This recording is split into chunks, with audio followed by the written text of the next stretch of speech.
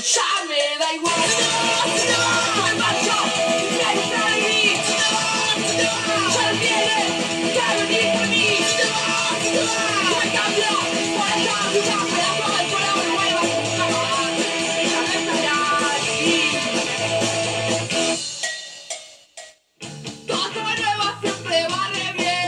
¿Qué tal amigos? Eh, acá empezando una nueva edición de 733 eh, con música de fondo de los amigos de Rancho Aparte. Eh, los pongo porque justamente tuve la suerte de que ayer se me, me contactó Juan Francisco para un proyecto, para una colaboración y decidí nombrarlos porque es una banda de, del Street Ace, de nuestros amigos del- de, la, de La Plata, en Argentina, eh, con los que tuve la suerte de compartir el año pasado y que me pasaron su split con Pedorcho Baboso y Rancho Aparte. Ellos están liderados por la voz con eh, Ludmila Báez, que es eh, la, la- compañera Juan, de Juan Francisco, muy simpática, tipos en general también ahí con Migueles, con Alejandro en la batería. Gente muy, muy consciente, gente de muy buenas ideas y con una propuesta que mezcla este concepto de, de la escena age, pero también de la postura eh, abierta, feminista y, libertaria. Muy buena banda, muy felices y un saludo para ellos acá.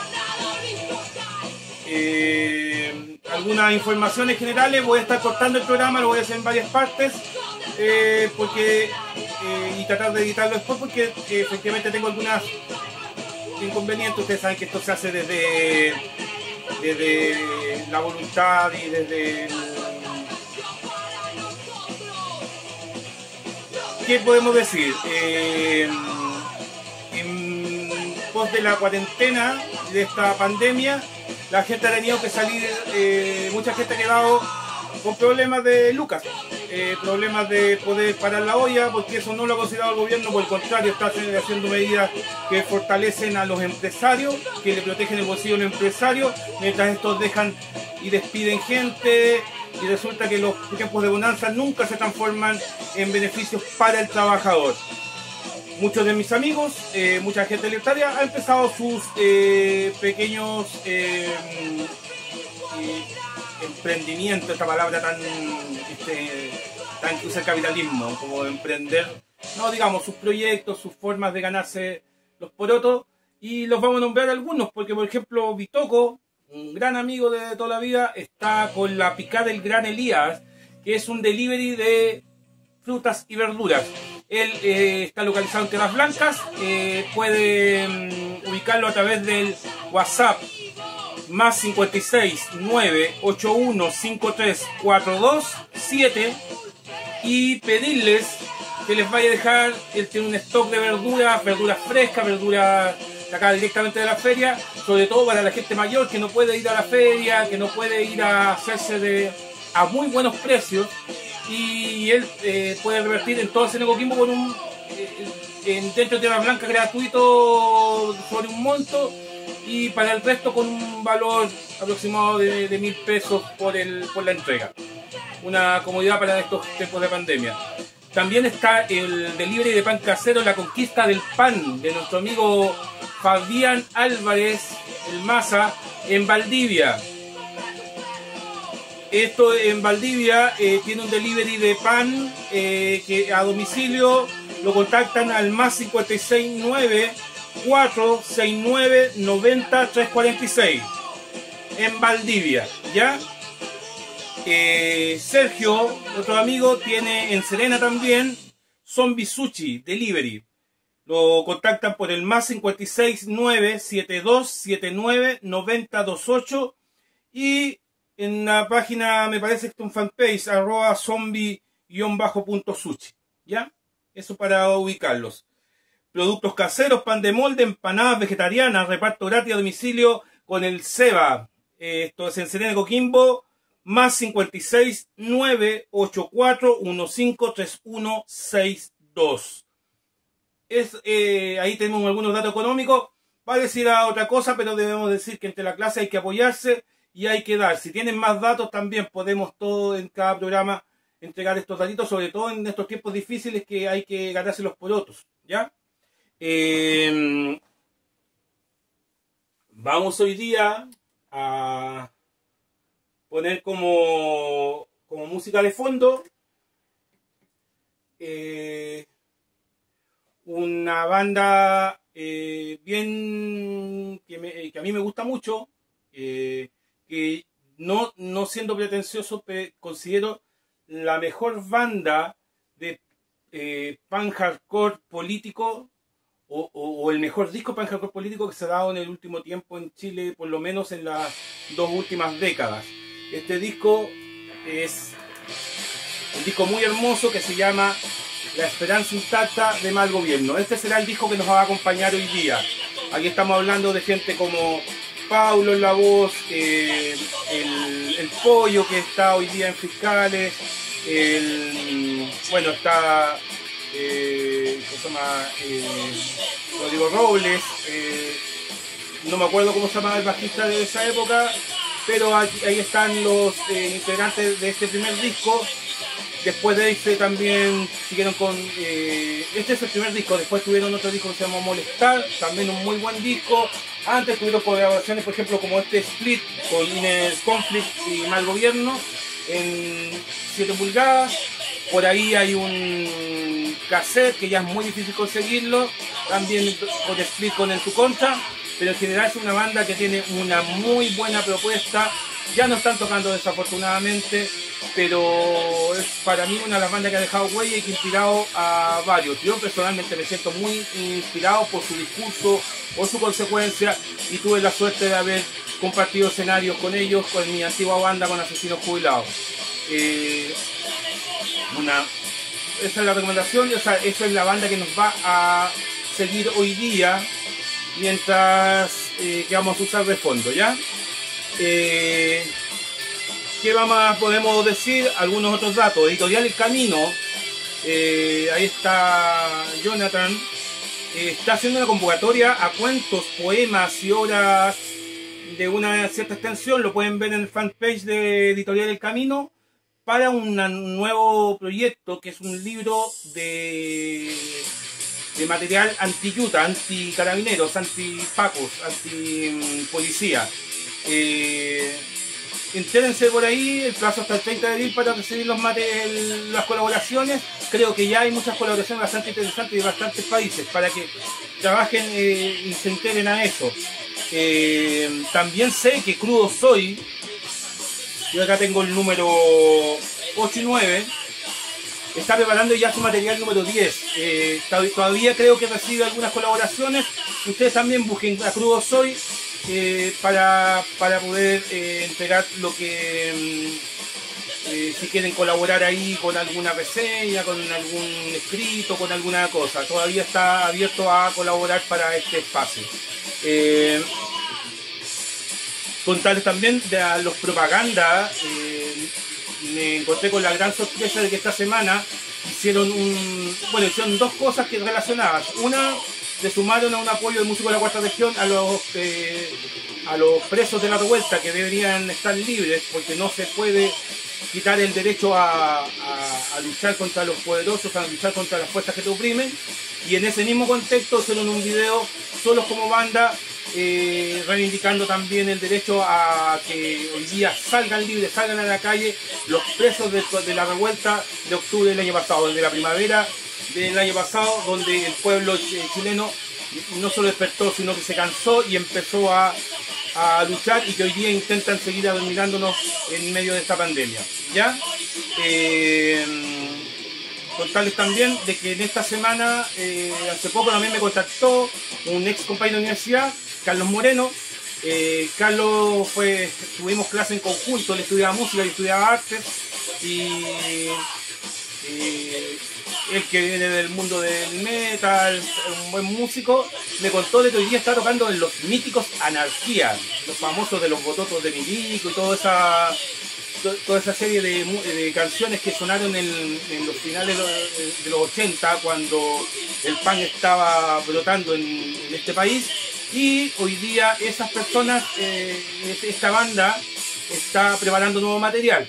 Así que pronto sabremos, creo que va a salir en disco o, eh, o sea, en CD o, o cassette, posiblemente en material físico. Esperemos que no tenga material físico, podamos comentarlo acá. Y por último, eh, que a mí no les había contado, eh, recordarles que en tu contra, la misma banda que hizo el split y que se juntó, donde está Alejandro Stephen, mi amigo Alejandro Stephen, ya, ya está terminando su material, ya está terminando las mezclas, y pronto yo creo que una vez que salga la cuarentena, quizás va a salir material en cassette principalmente. Espero tenerlos acá y también poder hacer comentarios de este disco. Eh, vamos a hacer la primera pausa y nos estamos encontrando con la segunda etapa que es el comentario de disco regional ya amigos volvemos eh, ahora para hacer eh, la próxima sección que siempre ya estamos acostumbrados a hacer Eh, como les comentaba eh, anteriormente la idea es ir entregando de a poco más ideas, más material. Estamos abiertos a que esté entre en material. quizás no va eh, con el tiempo vamos a poder mejorar. Mientras estemos en cuarentena va a ser esto bien rústico. Pero hoy día vamos a comentar un disco. Vamos a cambiar este el disco de acá y vamos a comentar un disco que salió el año pasado, donde yo tuve la suerte de eh, coeditar, aunque debemos decir que esta fue una iniciativa que fue liderada principalmente por Dexter eh, Dennis, que es un eh, ya un tipo antiguo en la escena de la cuarta región y del norte de Chile en varias bandas como Cuestión Social, como Tóxico Corrosivo, y que ahora está con un proyecto que se llama algo así como Dexter, Pan con Algo, también ha hecho algunos materiales solistas, y que también se dedica a buscar eh, y reeditar material. eh, de una u otra manera, él fue el quien eh, inició e incitó este proyecto, que era reivindicar y darle el justo homenaje a una banda emblemática de la cuarta región que se llama Los Reprimidos. Este es el tributo, el tributo a los reprimidos.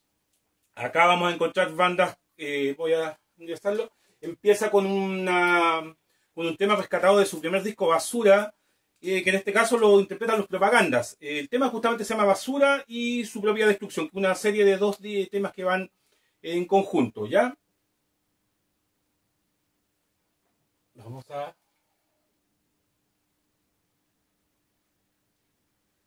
empezar a, a-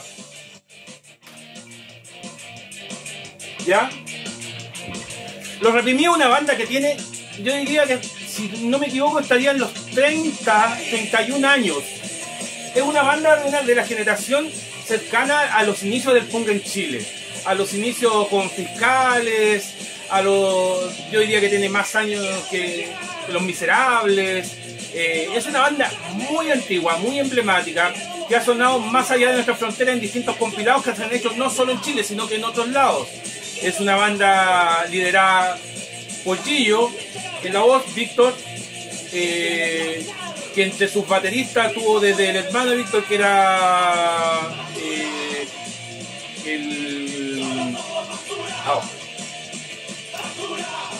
se me va, se me fue en estos datos, pero después tuvo, pasó a baterista Caselli, eh, King también tocó, tocó la guitarra ahí, que, que- que también es bajista de Sin Vida, eh, estuvo también, bueno, el, ba- el bajista histórico Chino Vergara, pero que en alguna vez también por ahí, no me acuerdo en quién, se fueron turnando, estuvo el Miro, que hoy día que también toca en otras bandas emblemáticas como Demoniac, eh, y Cubo siempre en la guitarra, estuvo Rodrigo Juanita también en la banda, alguna vez Seba Pacho Bajo, hoy día estaban con Castellón en la, en la batería, eh, o sea, ha pasado mucha gente por ahí, pero siempre con un sonido que va entre lo social, que derivó un poquito después al punk terror, pero que siempre tuvo una raíz social y siempre estuvo en lugares donde tocando, bueno, aparte en, en Chile en general, pero también verlos en, en iniciativas siempre sociales, siempre con un discurso y siempre con una opinión. Es una banda que merece su, momento, su homenaje. Y acá se le hace a través de este formato que es sobre, que lo siguió Dexter, donde yo me sumé también, se sumió Caucau, eh, también el DK de propaganda también actúa aquí como coeditor.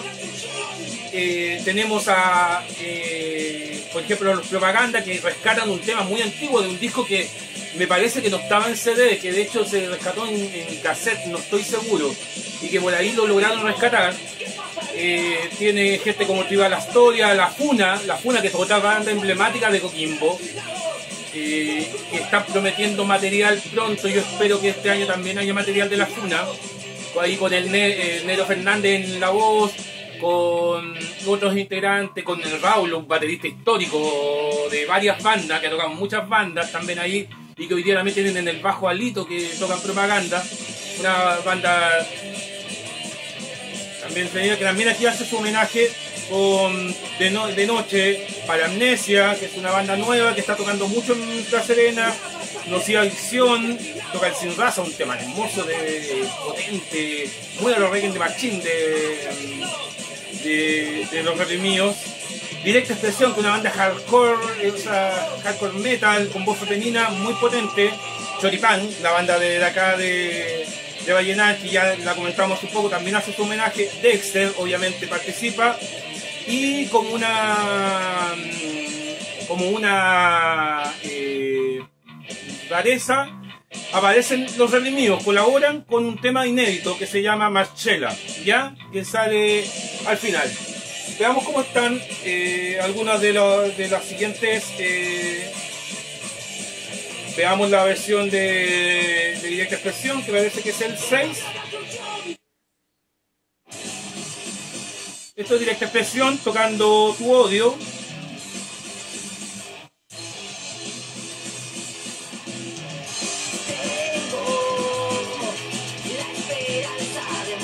Eh, si bien aquí en un compilado faltó quizá una, una mezcla, una, ma- una mayor, eh, una, un trabajo de mezcla quizás para haber regulado todo, pero en general es un muy buen trabajo de rescate de una banda que merecía su homenaje.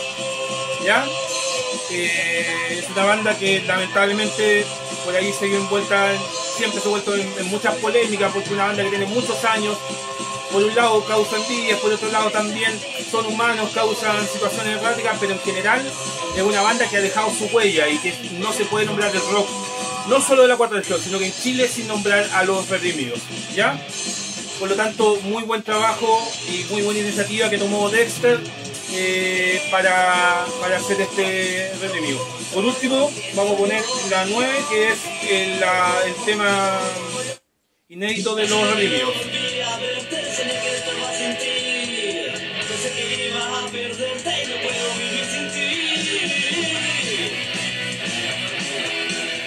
La importancia del reprimido va más allá de, de la banda en sí, tiene que ver también eh, los reprimidos, eh, su guitarrista histórico, Cubo, también es el encargado y dueño de- del estudio Cubo Records, que es donde han grabado una cantidad increíble de an- de landers de la cuarta región.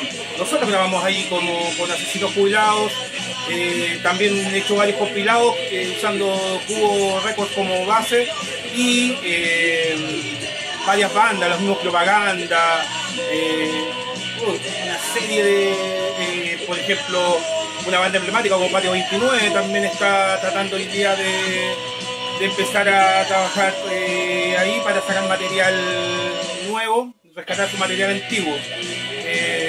Y todos a la cuna de Cubo Records, Cubo Records, la banda de este hombre callado, ya muestra sus canas, pero que, ha contribuido eh, de sobremanera en el underground de la cuarta región, de la Serena, Coquimbo, de la continuación del odio.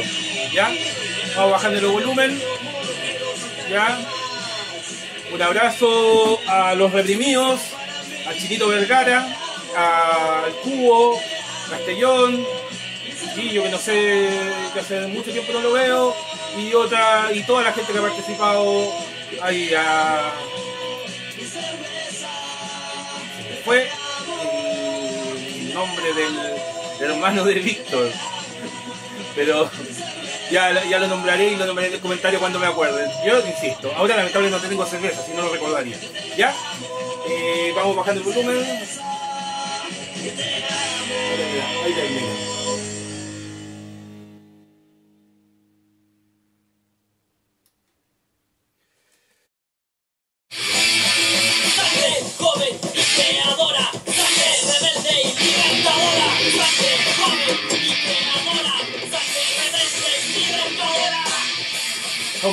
Potente, mal gobierno, de verdad. Un disco que me agrada mucho tener de fondo. Es un disco que disfruto mucho, que he hecho reseñas, que prefiero pretendo incluir en un libro que estoy preparando. Eh, es una banda muy, muy potente, ¿ya? Eh, vamos hoy día con lo que va a ser el 7 pulgadas del, del día. Eh, vamos a bajarle un poquito a mal gobierno. Vamos a ponerle un pause, ¿ya? Y vamos a, nos disponemos a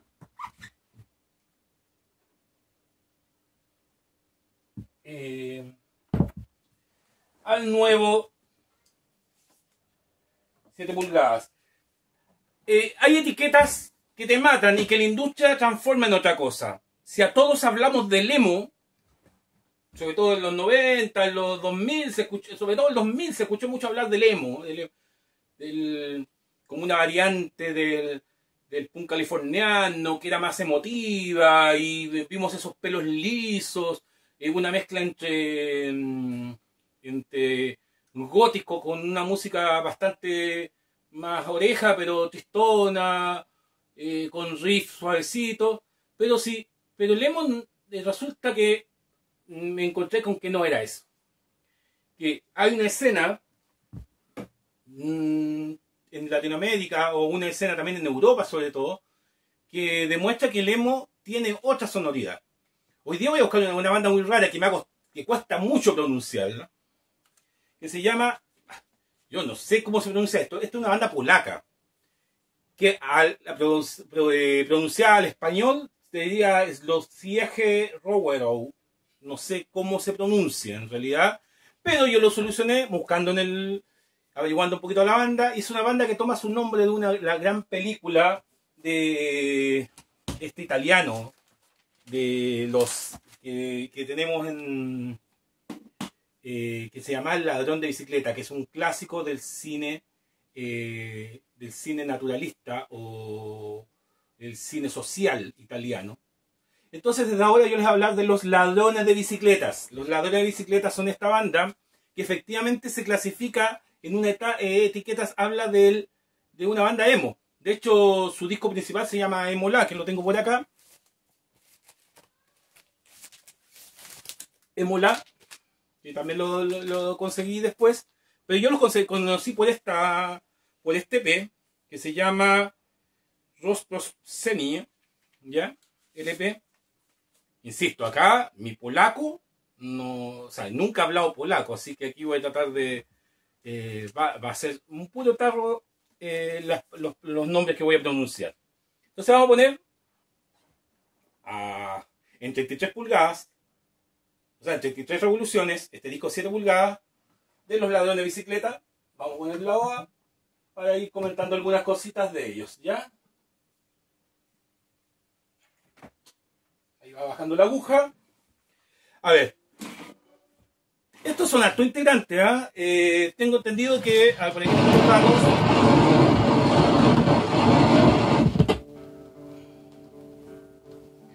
eh, en vocal está Jaycee. Guitarra se llama Adam. La otra guitarra se llama Tomex. Hay otra guitarra más, pero este es que es impronunciable. Sale como una X, es como Cres y otra X. No sé si un. No sé cómo se pronuncia. Hoxo en bajo y algo así como Christoph en batería. Es una banda más o menos bien potente. Eh, bien, bien masiva, bien grande, tres guitarras, ¿ya?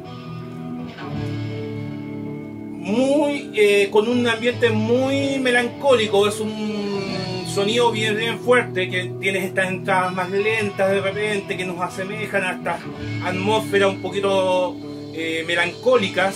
eh, pero también salen después los sonidos de las guitarras un poquito más pesadas y la voz aguda de, de Jacek que, que entre desafinada, gritona y, y desesperada tira letras que aquí viene la diferencia. El- este emo es un emo definitivamente antifascista. O sea, ellos participan han participado porque es una banda que nació en el año 93 en la ciudad de Sabron eh, pero que eh, si bien eh, se clasifica dentro de esta escena que nosotros pensábamos que era emo, en realidad su discurso tiene mucho que ver con, con un discurso social. De hecho, el título de la, de la banda, Los Ladrones de Bicicleta, ya habla de lo, de lo social que son, de la inspiración social que hay. Y obviamente en sus conciertos se ven las banderas antifascistas. Ellos se disolvieron en el 2010, sí, en el 2010, eh, con un concierto que está grabado y que salió en LP que se puede anunciado donde uno puede ver las banderas, los puños en alto y el discurso muy explosivo a la entrada. Eh, ellos participan, pa- han participado cuando mientras tocaron para iniciativas como Amnistía Internacional, para eh, Fondo Bombs, Comida No Bombas, eh, que es una, una organización que, que- que tiene que ver con una militancia bien entre libertaria y pacifista. Eh, también para la Cruz Negra Anarquista. O sea, están metidos en, este, en este circuito de, de bandas del, libertarias, de bandas sociales. Es una banda muy interesante. Gracias a ello me conocí otra serie de bandas de una escena polaca que es muy, muy eh, hay, hay sellos polacos que, que muestran una cantidad increíble de bandas muy, muy prolijas que yo espero seguir leyendo y seguir conociendo porque me parece bastante interesante. Además que la sonoridad a nuestro oído de la pronunciación del idioma también le da un toque medio... eh, una sonoridad, una, una, un- entre sonoridad, una textura a las canciones que suena distinto. Entre marcar, militar, eh, militar, pero no llegando al alemán, sino que más bien eh, una fuerza, una rítmica interesante. Esta banda me gusta personalmente esta, esta forma en que van en ascendente y creyendo y también descienden y llegan a explosiones, se van muy quieren desentrar en una dinámica eh, mientras lo escuchas que te va llevando, que te va llevando. Además logran, como les digo, una sonoridad atmosférica que, que a uno lo lleva. Y aquí bajan, aquí ven el, los sonidos de las guitarras, muy, muy interesante. Espero que les haya gustado esta sugerencia. Los pueden encontrar en YouTube, están eh, los trabajos, el Emolá. el- ellos tienen cuatro discos, no me sé lo- la pronunciación de los demás discos, pero yo tengo por lo menos lo que es eh, lo de la el, el concepto final, donde es un ejemplo de su, de su discografía completa, algunos CPs y tienen cuatro discos donde el más destacado hoy día es Emolá. Espero conseguir más material de ellos, eh, una banda más interesante y me gustaría seguir también viendo qué bandas polacas más podemos encontrar porque he escuchado algunas y son más interesantes. ¿Ya? Vamos a escuchar un poquito más fuerte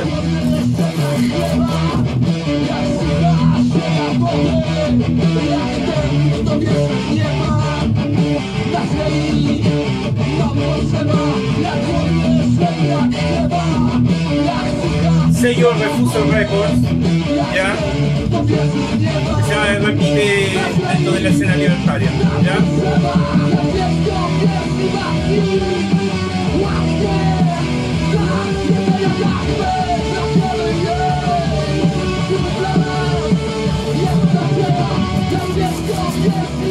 Yeah.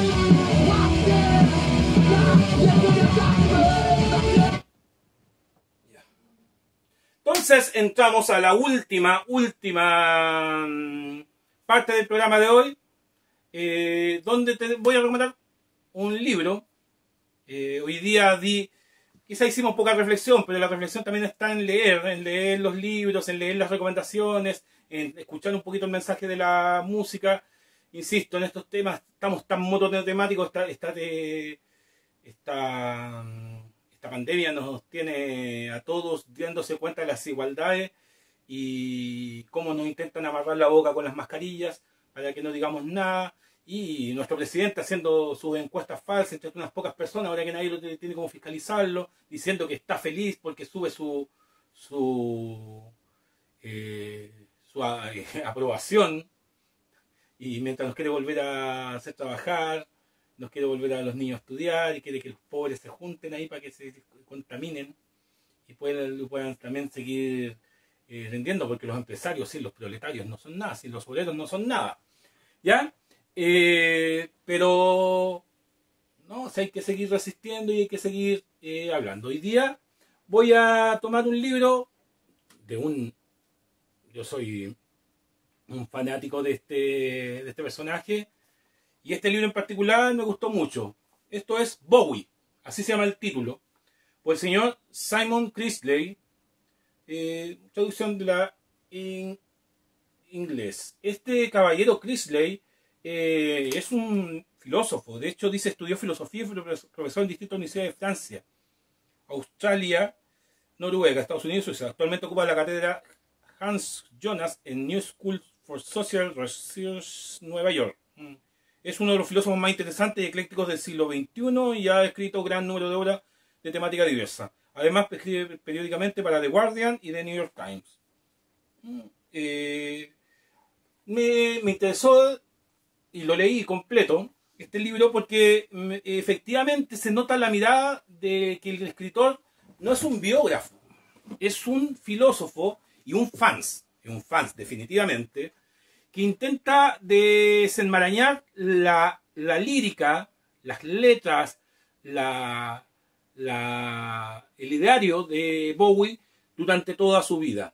Construye distintos relatos a partir efectivamente de los discos que Bowie va sacando y de cómo va mi- mirando la vida eh, dentro de su eh, dentro de su historia, dentro de hasta hasta el momento de su muerte, hasta el momento de su muerte que fue hace unos pocos años atrás y que nos dejó a varios porque es sabido de que estaba preparando un concierto para Chile cuando cuando Bowie falleció y había sacado un, un disco muy recientemente.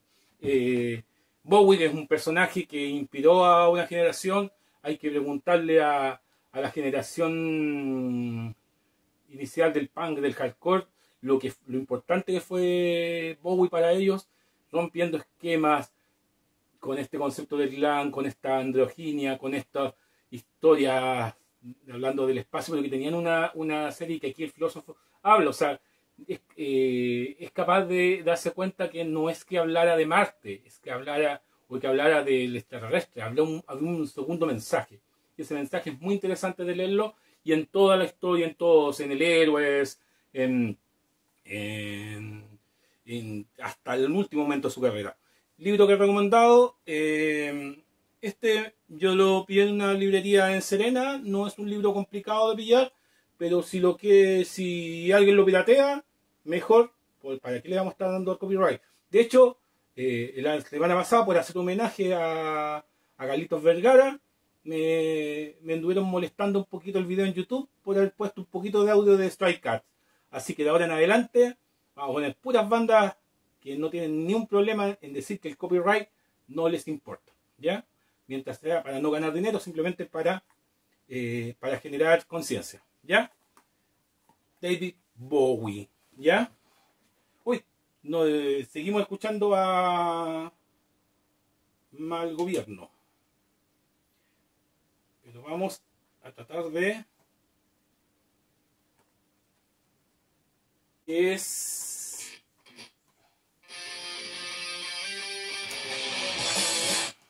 La esperanza intacta, ¿ya? Qué buen nombre, la esperanza intacta. Así deberíamos estar en esta mientras nos cuidemos, mientras estamos encerrados, pero planeando. Ayer, o sea, eh, ya hay muestras de, de elegancia valientes que salieron con sus mascarillas a protestar a la Plaza Baquedano eh, con la esperanza intacta, con la esperanza intacta de que, de que las cosas van a cambiar, de que vamos a ser vehículo de transformación y de que vamos a lograr mejorar la- las cosas y sacar a estos corruptos, sacar a este modelo y transformar y volver a hacer cosas eh, para la gente, para el pueblo. Veía en Facebook gente que es capaz de decir hoy día que términos como burguesía son del siglo pasado. Cuando la burguesía, la oligarquía está ahí. Ya Fukuyama dijo que la historia se había acabado y tuvo que eh, tuvo que reescribir el libro porque le cayó el actor de gemela. No, esa desfachatez de estos filósofos, de estos intelectuales de la, de la, del oficialismo, hay que decirles no, las ideas están intactas, las ideas están intactas.